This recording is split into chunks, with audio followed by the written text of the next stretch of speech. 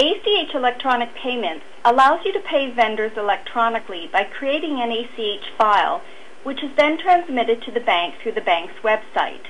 There are three areas I want to talk about.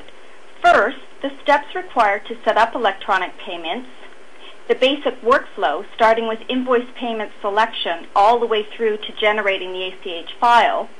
Then we'll take a quick look at an electronic payment in vendor maintenance, and I'll touch on the changes we made to some of the reports. Let's start with setup. In Accounts Payable Options, we've added a new ACH folder. I'm just going to highlight a few of the options. You'll first need to select the Enable ACH Electronic Payments option to activate the feature for your company. You can choose to print vendor remittance advices or you can use your check forms.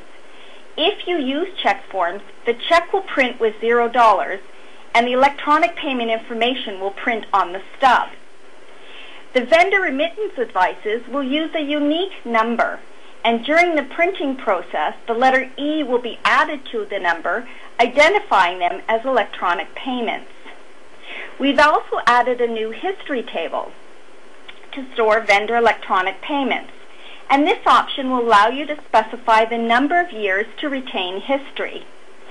Then you'll need to set up the location to store your ACH files once they are generated and are ready to be uploaded to the bank.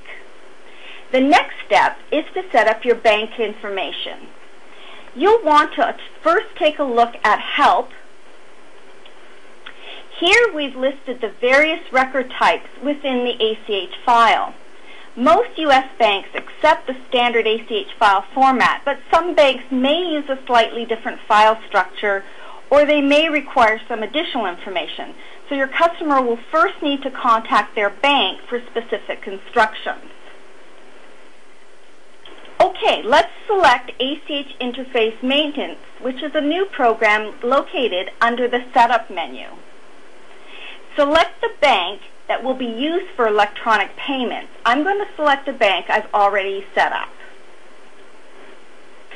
The main folder contains details for the bank, including routing transit numbers and the records and additional folders include options and settings for the various record types that make up the ACH file. If your bank uses the standard ACH file format, you're probably only going to need to set up the information on the main folder. The next step is to set up your vendor's bank account information.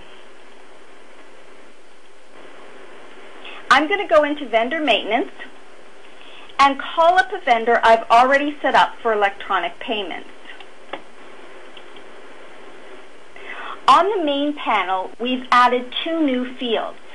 The first field activates the vendor for electronic payment. And the standard entry class field identifies the type of transactions being transmitted and is used specifically for banks that require a separate ACH file to be generated for each different entry class. Again, your bank will need to tell you if this is a requirement. Once you have selected the electronic payment checkbox, you'll have access to the vendor electronic payment screen, which is located under the More button. And we've added a security module option for this because we know that this is sensitive information. Here is where you set up your vendor's bank account information and establish the distribution payments for each account. I've already entered one bank account and I've set the distribution method to percentage of net amount. And I want 100% of the payment to be deposited to this account. You can distribute the payment to one or multiple accounts. Now, before you can pay this vendor electronically, the account information must be approved by the bank. So you'll first need to set the pre-note sent field to no. And then you will need to process the pre-note itself. Now, a pre-note is a $0 amount that is sent to the vendor's bank to verify that the transit and account numbers are correct. And the approval process takes approximately 10 to 15 business days. So the next step is to print and update the pre-note selection register. Now you can do this from here, from this screen, or you can select the pre-note selection register from the launcher. Once you have updated the pre-note selection register, the pre-note send field will be set to yes, and the vendor bank account information will be written to the ACH generation tables. Now the next step is to run the generate pre-note ACH file. This will create an ACH file for all vendors that have not yet been approved. So it pulls the records from the ACH generation tables and puts them into a formatted ACH file. You then upload your ACH file to the bank and in approximately 10 days you'll receive a confirmation. At that point, you will want to print and update the pre-note approval register. What this does is it sets the pre-note sent field to approved. Now you're ready to process electronic payments for the vendors who have been approved. In invoice payment selection, you can choose to include, exclude, or only process electronic payments. Now if for some reason you can't pay your vendors electronically, you can select this option and they will be paid by check instead.